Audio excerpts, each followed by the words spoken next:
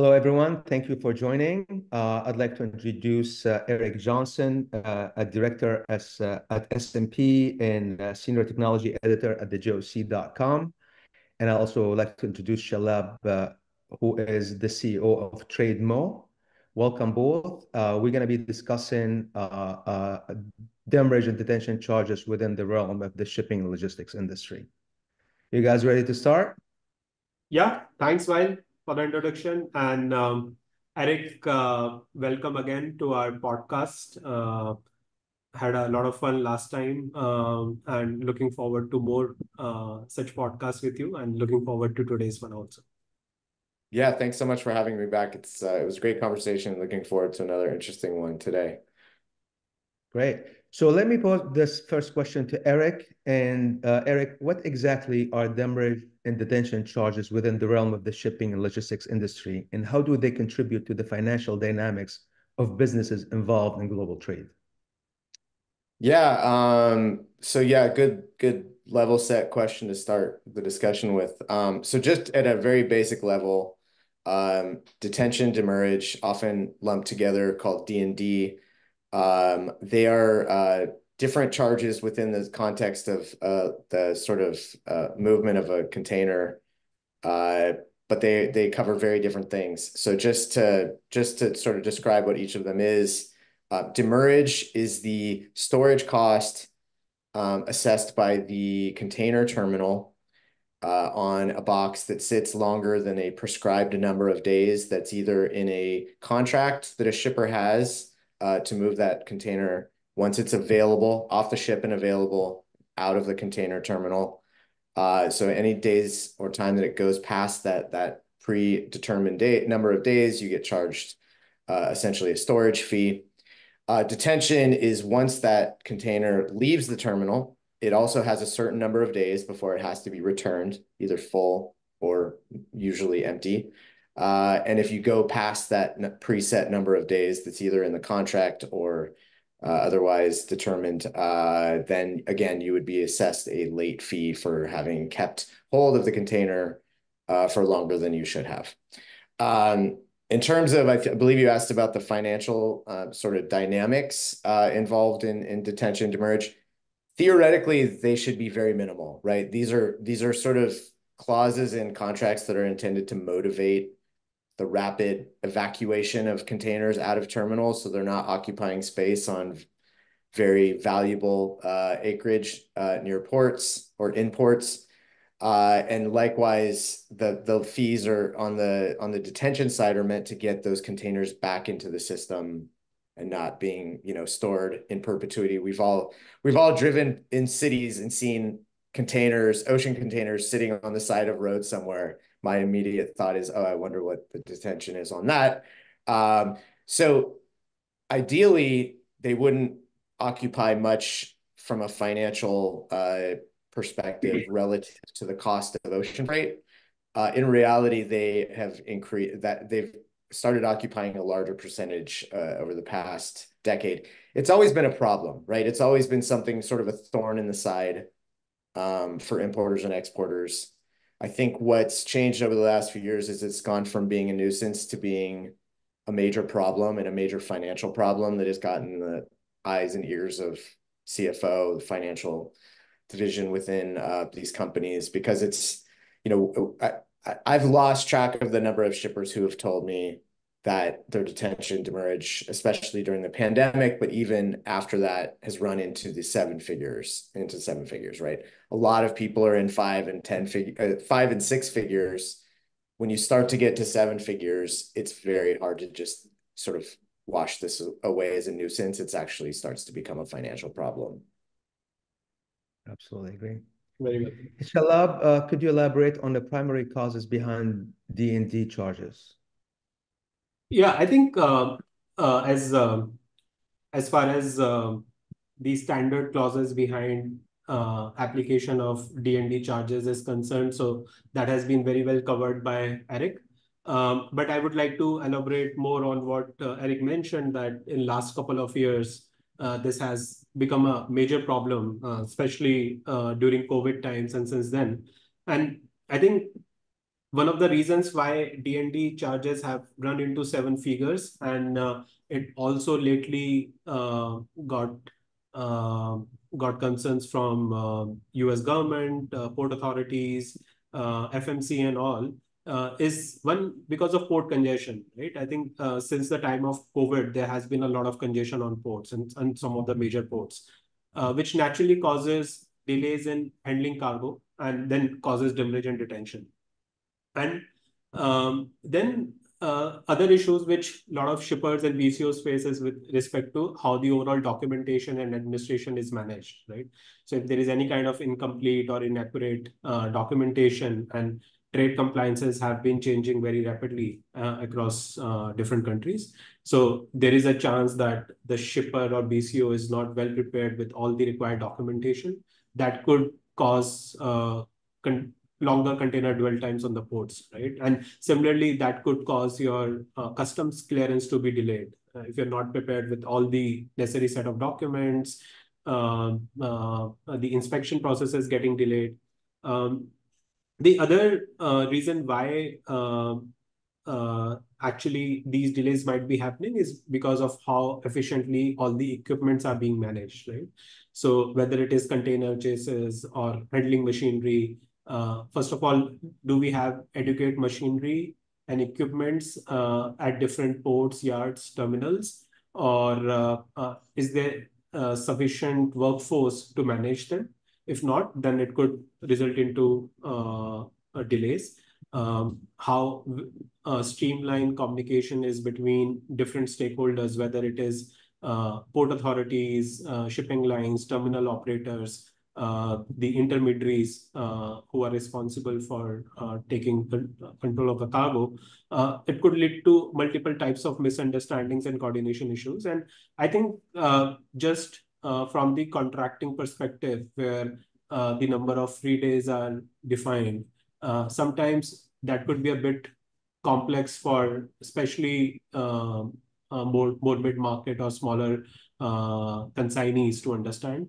And, and that could also lead to some kind of understandings, which is why the demurrage and detention charges sometimes run into figures um, which are not expected uh, by the uh, by the BCOs and uh, cause a major concern. So yeah, that would thank be you. Um, Eric, how do uh, D&D charges influence the efficiency of supply chains and overall operational expenses incurred by businesses? Uh, so I, I think I alluded to this a little earlier, right? If you think about the the origin of these charges, it was to ensure that shippers were not keeping their boxes in container terminals at their own for their own benefit, you know, for an undetermined amount of time, right? That that a that only benefits really one party, the the importer essentially. Um, everybody else sort of suffers. The terminal gets clogged up with boxes that are not moving, which inhibits you know kind of uh, management of the yard. Uh, the terminal uh, operator has to deal with that. The container line uh, has to deal with a yard that would be overflowing with uh, import containers that are not moving, uh, affecting how quickly it can unload and and and uh, discharge containers and then reload export containers. And then, uh, you know, I think this is something. All of these were things that we saw during the pandemic, kind of at a at a historic level. Uh, what we also saw was other shippers. You know, uh, Shalabh referenced the mid market shipper. We saw a lot of shippers that did not have extremely favorable uh, demurrage terms get impacted significantly by companies that did. So if you have, for instance, the big box retailer that has a lot of free time in, uh, in their contract, maybe as much as 30 days potentially, uh, that's going to tie up space in the terminal and that's going to influence or impact shippers that don't have such favorable terms.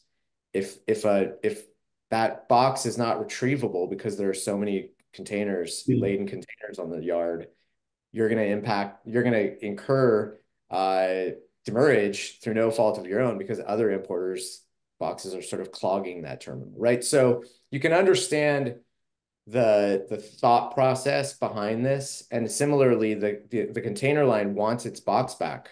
It doesn't make money with the box. It, it absent detention fees, it doesn't make money if the box is stuck somewhere at an inland distribution center or or a ramp somewhere and is not moving back to the origin to be reloaded uh, with very lucrative car uh, freight, right? So um, you can understand that sort of from an efficiency standpoint, the need to have some sort of motivation to get these boxes moving in both directions.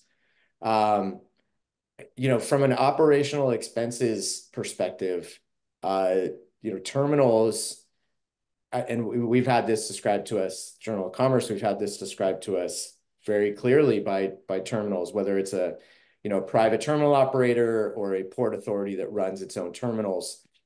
If you're having to move boxes to get to boxes that need to move because someone has picked it up, uh, a drayage provider has come to pick it up, that's a cost that's incurred. Every time a box is moved on a yard, there's a cost that's incurred, right? So the, they're always thinking, how can we flow these term these containers out of the terminal as quickly as possible?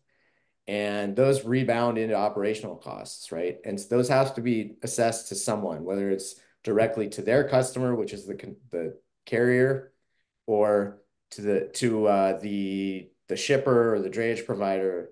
Someone is paying those costs. Someone has to reimburse the terminal for essentially all of that work. And one of the one of the inefficiencies that's created by all of this is that you often have parties such as a drayage provider that are not actually anywhere on the contract between the container line and the and the shipper that are essentially paying a fee on behalf of their own customer, the shipper, but they weren't part of the contract that was involved in in demurrage or detention at all.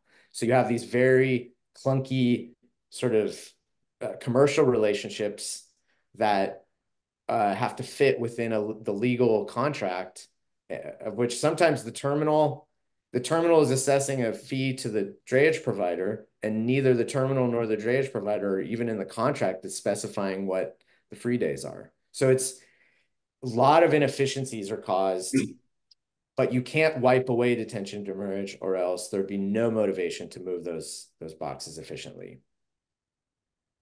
Right. Thank you for that eric. The next question is for Shalabh. Uh, Shalabh, from your experience, what are some practical measures that companies can take to preemptively manage D&D charges and streamline their logistics operations?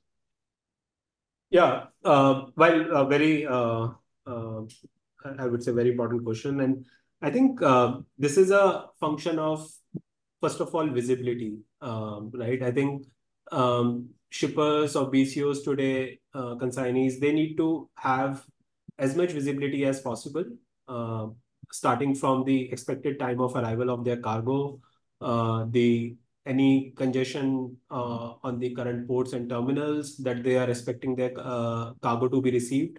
Um, second is uh, preparedness, right? How prepared they are with all the documentation, um, all the um, customs clearance processes, how is their uh, communication with, with their intermediaries uh, streamlined, um, how much prepared they are um, uh, with any kind of fees that has to be paid at the port or terminal uh, or the or during uh, to the customs, right? So ensuring that there are not any delays happening just because of delays in payment of any kind of taxes, fees, or anything.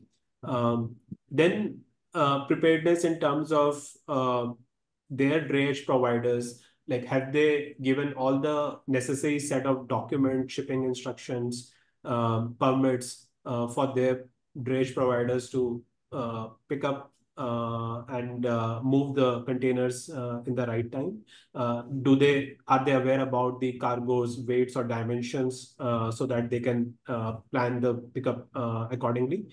um, how prepared are the warehouses where they are moving these particular containers uh, to receive their goods, right? So it's an entire chain uh, where the delays can happen uh, beyond the free days.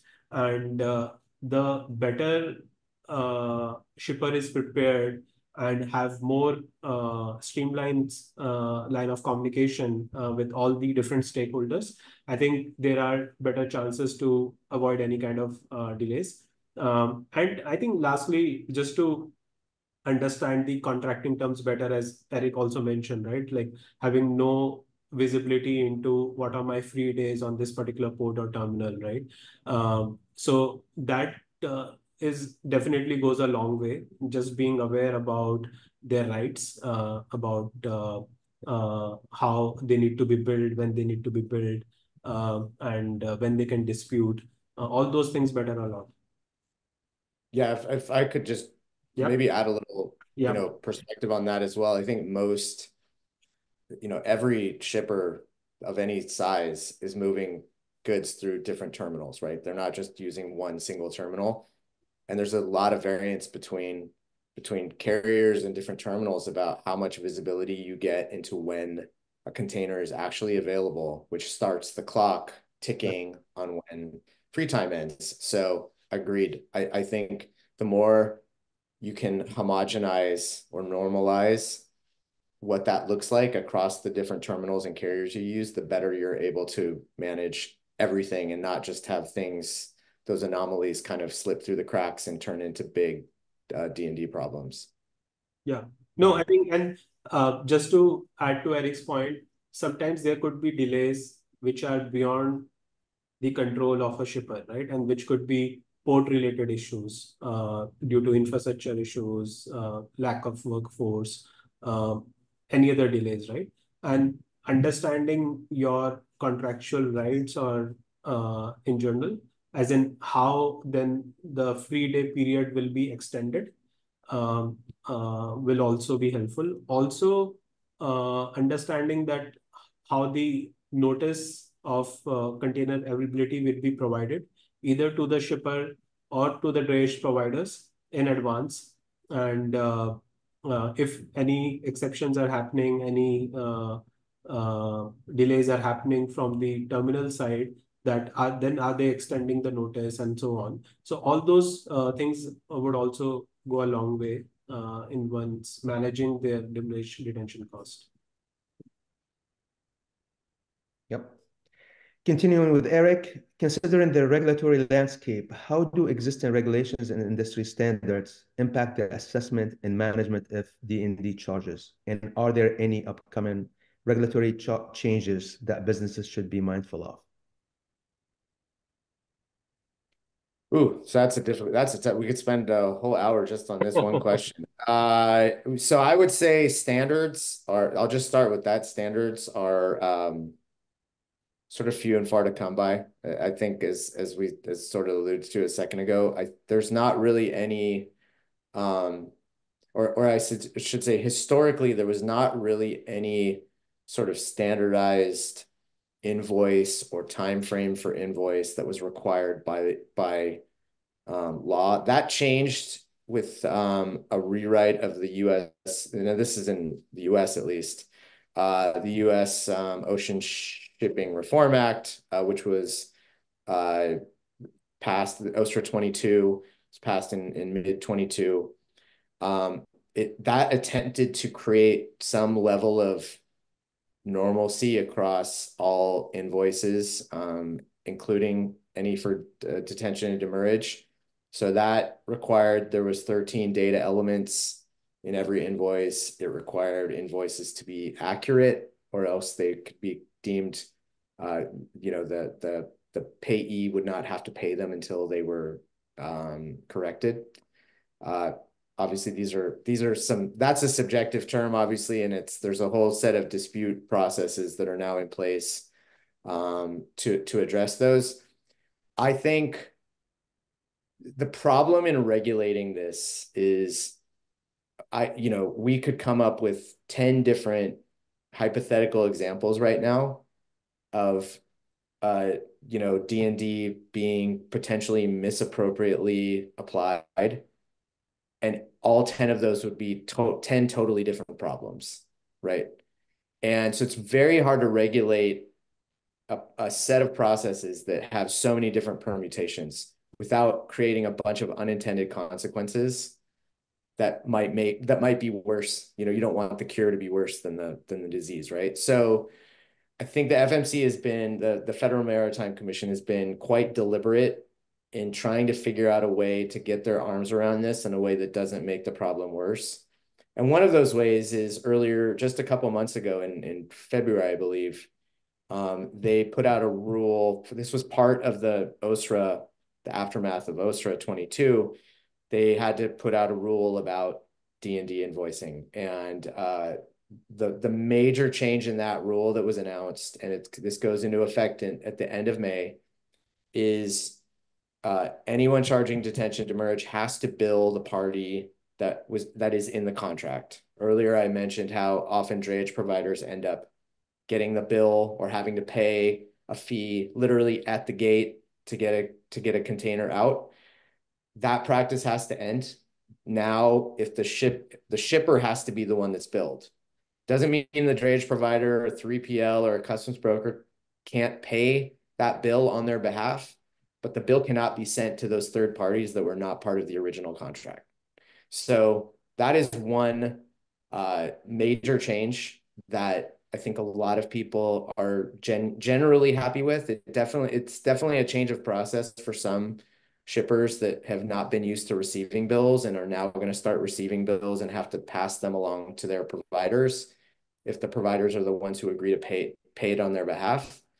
Uh, but I think it's overall it's a good thing for the intermediary community that essentially has been over the years fronting a lot of money and having to claw it back. And and most of these companies are on pretty thin margins and don't necessarily have the cash flow to to make that work. So th- that would be the one that i would be focused on at this point. There's another set of i had mentioned there's 13 data elements that now have to be in an invoice. There's also another seven elements that are set to be added, but they have to go through sort of a, a regulatory process within the U.S. government, the o Office of OMB, I forget the acronym, what it stands for, but that's sort of a uh, a, a, hurdle that the those seven data elements have to go through. They have to go through uh, uh, scrutiny from that agency, and then that will be added. So we might have as many as 20 data elements that have to be on an invoice for it to be considered a valid detention demurrage invoice. Yep. And, I, and one thing, and again, we could go on and on about just this topic. One thing that's important to understand on the dispute side of this is OSRA essentially created some new avenues for shippers uh, or shipper representatives to dispute charges they believe to be inaccurate or or lacking that data invoice there's now four channels essentially to dispute beyond just going back to the carrier or the terminal and saying, here, I have proof that this charge that you applied to me uh, is not valid. Uh, you can, and I won't go through all of them because again, that would take another 30 minutes, but there's, it sort of ranges from kind of like small claims court to all the way to formal process long-term process in front of the FMC, have them consider and and adjudicate whether you know a, a shipper has been wronged essentially. So there's there's a lot more channels in the and the the channels are meant to where appropriate expedite the process. So it's not a years long process to try to get back what oftentimes is not a huge amount of money but it's still you know inappropriately charged. Yeah very uh, good and while we're on uh, OSRA subject, Shalabh, what exactly is OSRA compliance, and what are the impacts of not complying with it from your from your uh, uh, thinking? Yeah, I mean, I think Eric uh, covered uh, quite a few points on on that topic. Um, but I, I mean, um, OSRA's uh, Ocean Shipping Reform Act came into picture in 2022 when President Biden signed it, and um, I think. Uh, the the reason something of that sort had to come in uh, is because of all the global supply chain challenges uh, that were already in place uh, because of COVID, and the government was trying to soothe some of those challenges for shippers and BCOs, US-based importers. That was kind of further uh, delaying the availability of goods, consumer goods for U US consumers. Um, so I believe that uh, OSRA was targeted towards building more accountability uh, on uh, uh, the shipping lines, the terminal operators, MTOs, um, on um, building more visibility and transparency in the entire process. And definitely a right step in the direction in putting more frameworks Um, so that uh, the larger industry, because this is not just the shipper, as uh, Eric also mentioned, uh, quite a few stakeholders are involved in this entire chain, um, how a framework can be adopted. And the idea was to give more authority to FMC to work on some of those new frameworks, which recently also came into implementation um, and like is going to be in implementation from end of May. Um, so I think OSRA was about um, uh, basically, there were complaints that uh, shippers were being billed, um, uh, let's say, 30 days after an empty container has been handed over back to the terminal. And they might be getting bills with which have no details whatsoever. And uh, like drayage providers might be getting billed. Like Multiple parties are receiving the bill, right? And there is no transparency or visibility in who who, who actually needs to uh, clear those charges.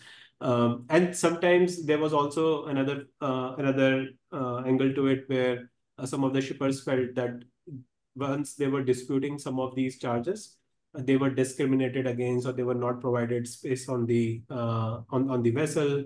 uh, They were not provided good uh, contractual terms or they were asked to renegotiate on their existing terms, right? um, So I think this intervention by U.S. government and FMC with OSRA coming in is good for the entire entire industry to build more accountability and streamline one of the challenges uh, that we have in global supply chains. And I I believe maybe uh, more uh, such governments in different parts of the world might might initiate something similar. Yeah. Getting back to Eric, would you like to talk about Samsung charges on unlawful D&D charge collections by COSCO?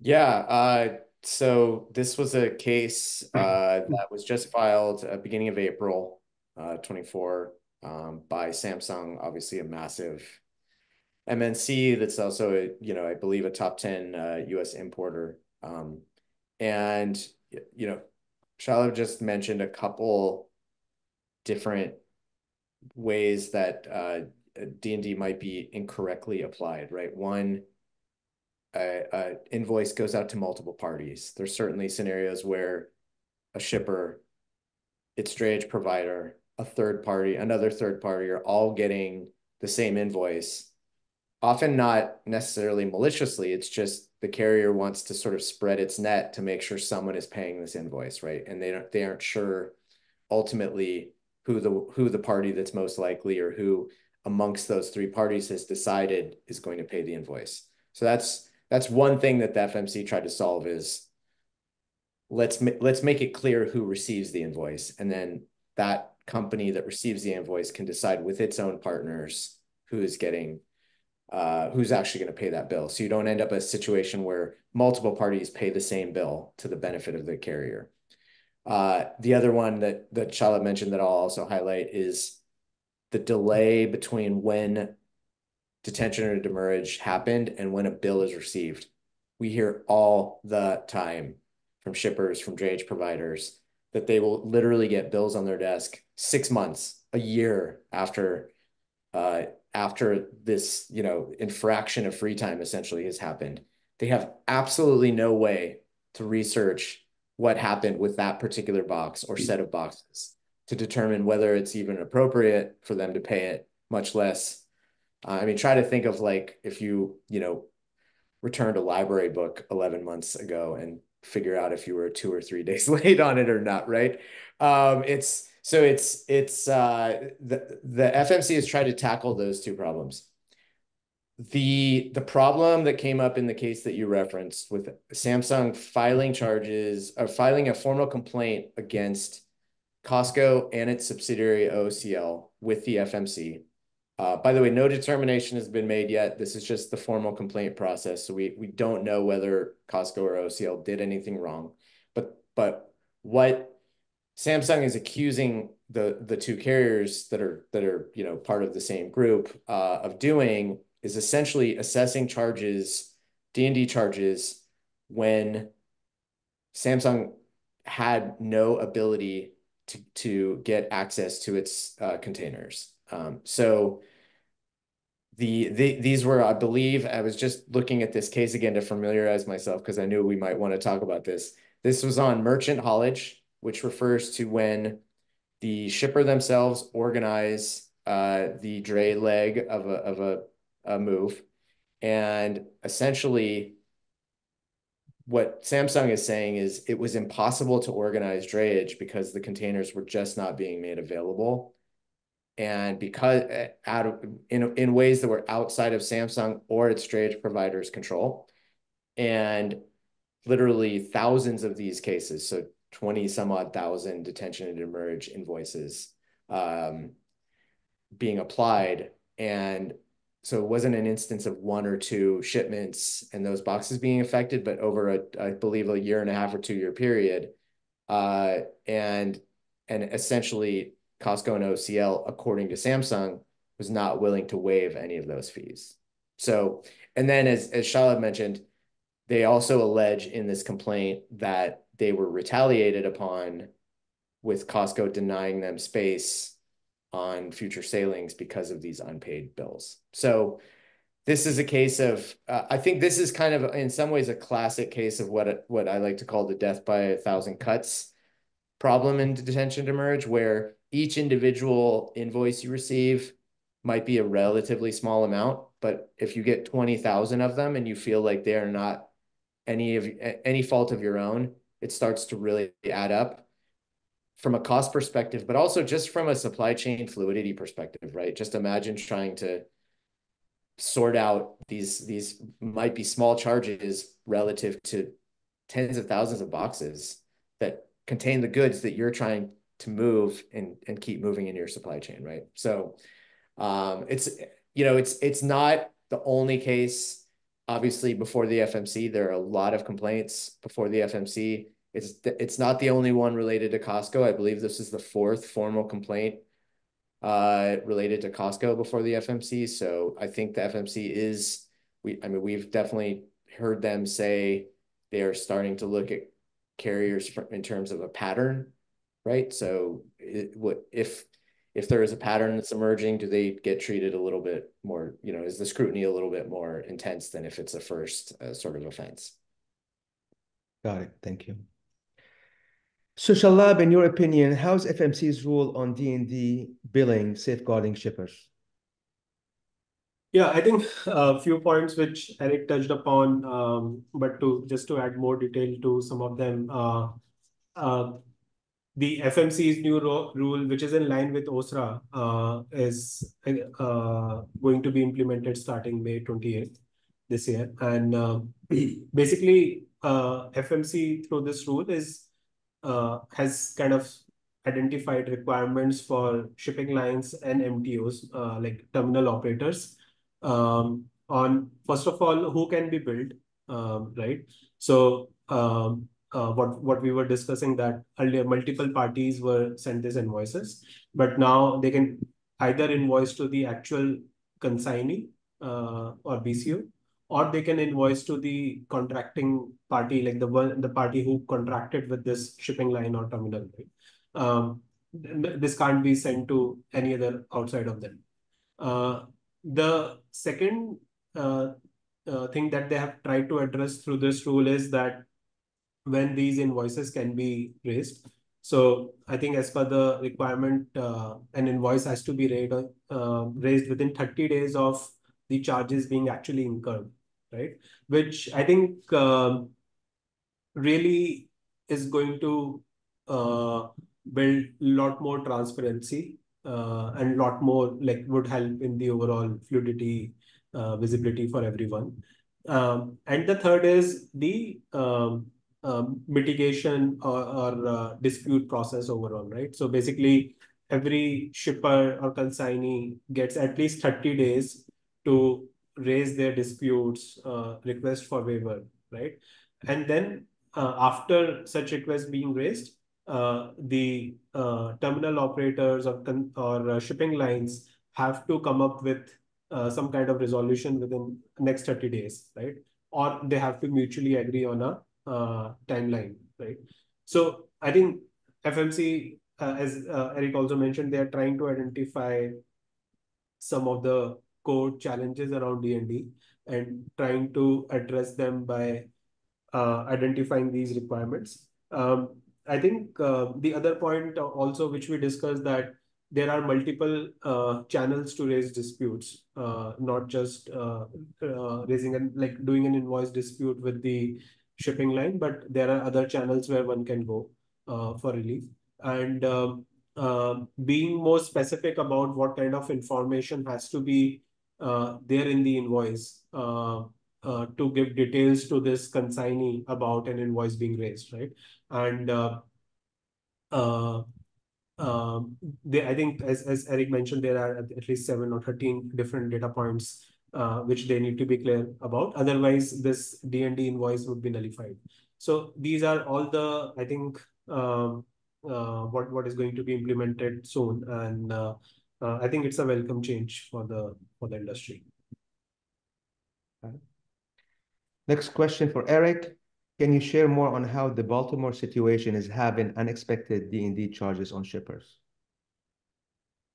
Oh, yeah, Baltimore. Uh, everyone's favorite topic these days in the US. Uh, okay, so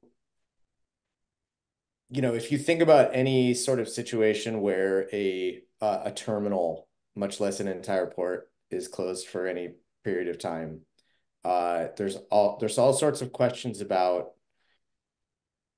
when does free time start? When does it pause?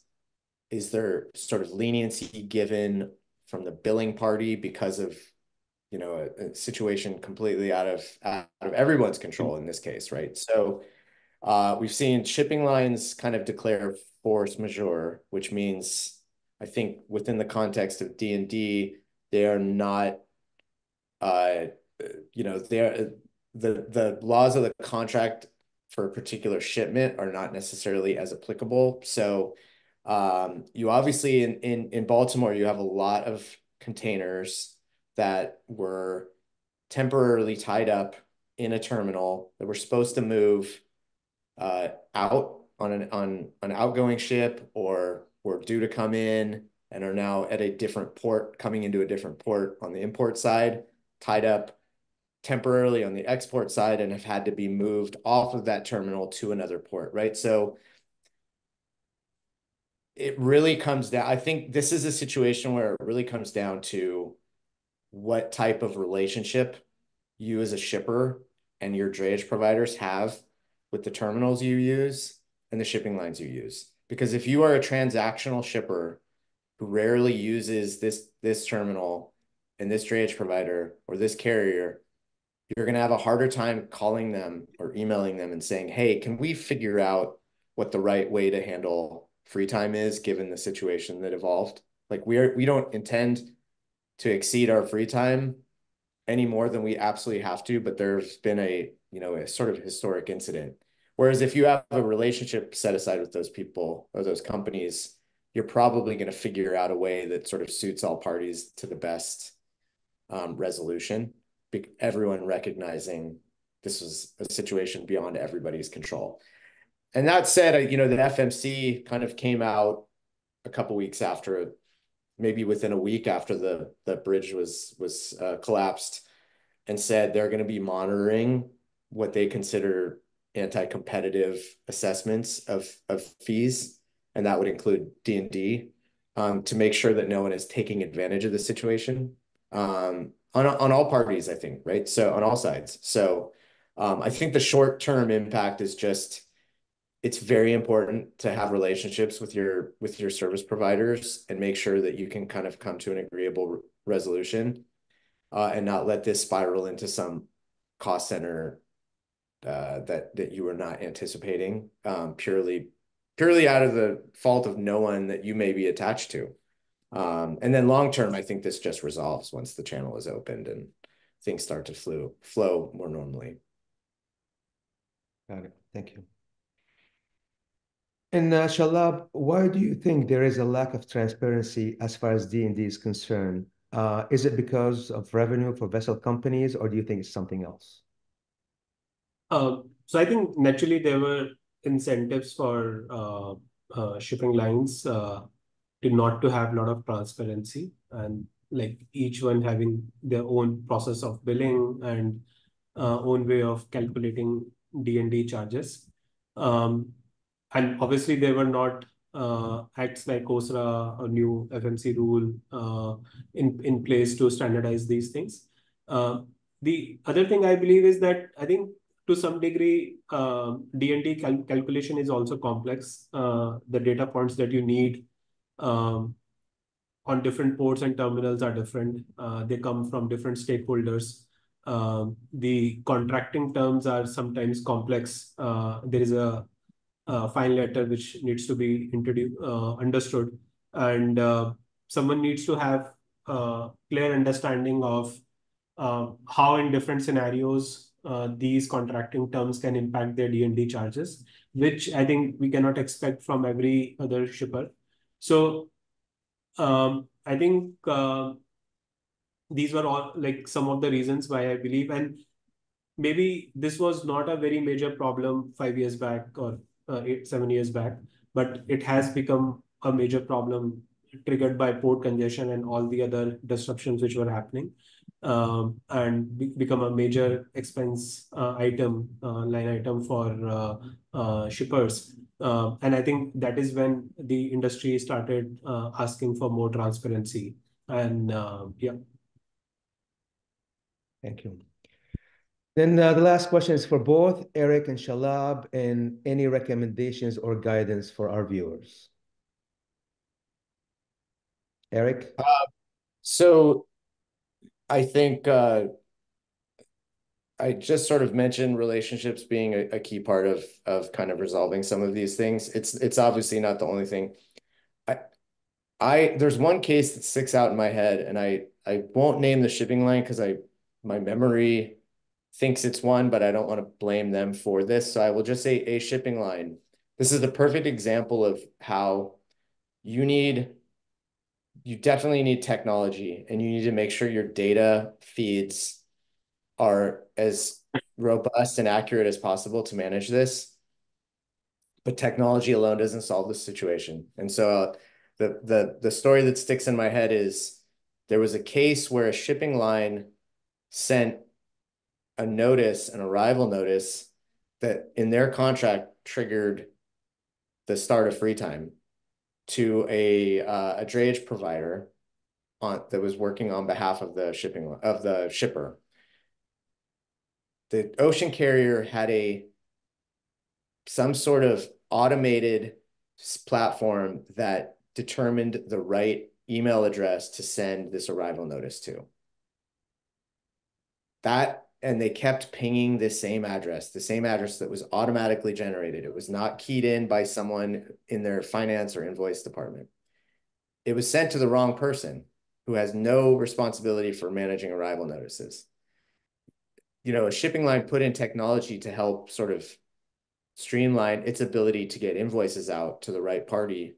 But a glitch in that system created a scenario where it didn't inform the party that needed to know when free time kicked in so that they could accurately you know, pull out their containers. That incurred detention or demurrage, I should say, that the shipper and its drayage provider felt were inappropriately applied. And that escalated all the way to the FMC, right? So you need a mixture of technology and people with expertise to manage that technology. Yep. No, I think uh, uh, great points, Eric. And um, Uh, just to add, I also uh, strongly believe that a lot more transparency and data management is required on account of shippers. because eventually they are the ones who are going to bear this cost. So it definitely makes sense um, for them to invest either in technology or in processes to understand their demurrage and detention charges. Um, I believe that um, with these uh, new compliances coming in, there will be um, uh, there will be better mitigation of uh, some of these challenges. But like some new disruptions keep coming in, like we were discussing Baltimore, right? And there could be some other new disruptions, new new case, right? And uh, this could be this could be a huge cost if not being managed well. So and there will be other challenges, of course, uh, in the overall shipping in future. So this could be one thing which could be now well addressed with the right set of technology and tools in place. Thank you. Well, that uh, was very educational. Thank you both for your time. Highly appreciate it. Take care. Thank you for having me. It's always great to talk with you. Thanks, Eric. Thank you. Thanks, bye.